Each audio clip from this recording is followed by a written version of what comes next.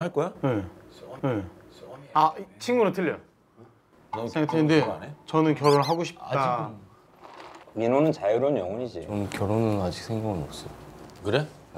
넌 그러면 그냥 왜? 결혼 안 하고 늙고 싶니? 아니면 이혼을 하더라도 한번 갔다 와서 늙고 싶니? 아 그럼 경험해보는 건 좋을 것 같아요. 아 이왕이면 근데 아직 하고 싶은 게 너무 많아서 저는 어리기도 하고 결혼 안 할 것 같다? 결, 그러니까 아니, 뭔가 뭐- 구속받거나 뭔가 이러면 그 책임을 못 질 것 같아요. 음. 아. 제 성격상 그 책임을 못 질 것 같아요. 음. 아. 제 성격상 음. 아니면 바뀔 수가 있지만 당연히 어. 와이프로 니네가 생각하는 와이프는 어떤 어, 와이프를 얘기하는 거야? 들어왔을 때 일하고 지쳐 집에 들어왔을 때 같이 있기만 해도 되게 좋은 사람 있잖아요. 어. 좋은 거 그냥 어. 있기만 해도 뭘 해도 좋은 거. 같이 있기만 해도 좋은 거한 1, 2년은 민호는? 1, 2년은 괜찮지. 들어왔을 때 아니 넌 어차피 결혼은 뭐 지금 할 생각이 없다니까 그냥 상상만 해보라는 거야 상상이라도. 뭐.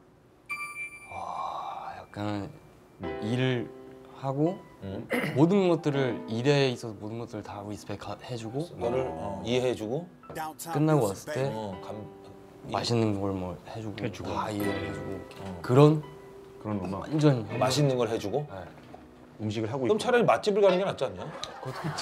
와이프가 일하고 들어오면 맛있는 걸 계속 해줄 것 같아? 뭔가 이렇게 막 다. 현실은 일하고 들어오면. 쓰레기 버리고 와 이거. 일하고 쓰레기 버리고 와. 현실은 일하고 들어오면 쓰레기 버리고 와.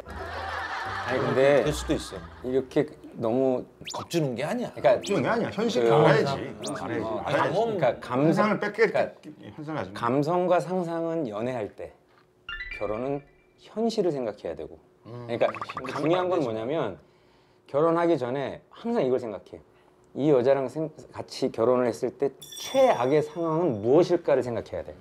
오. 그 최악의 상황을 미리 다 상상을 해. 너무 그렇게 그럼. 못하는 거그 아니야? 누가 상상해요? 그래도 좋으면 하라고. 야 이렇게 물어보자 야 그래서 야 결혼을 하면 니네 분명히 이혼할 거야 너무한 거 아니야? 그런 다음에 어? 너무 한다고?